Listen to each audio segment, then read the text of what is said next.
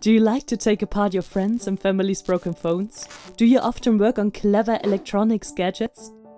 Or are you interested in how our everyday electronic gadgets work and are kept running?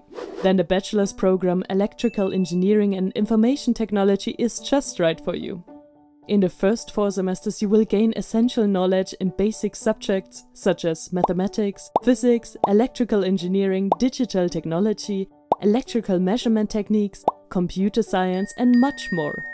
With all this knowledge in store, you are good to go and head on to the higher semesters. In the fifth semester, you can decide whether you want to deepen your knowledge in automation technology, communications engineering and electronics, or general electrical engineering. At the same time, you can dive into the professional life of an electrical engineer during your practical semester.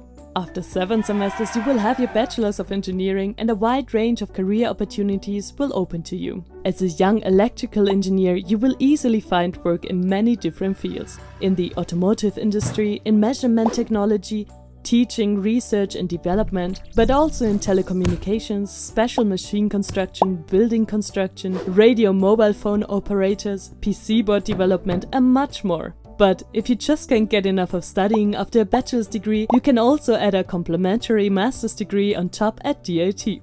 Apply now for the study program Electrical Engineering and Information Technology at the Deggendorf Institute of Technology.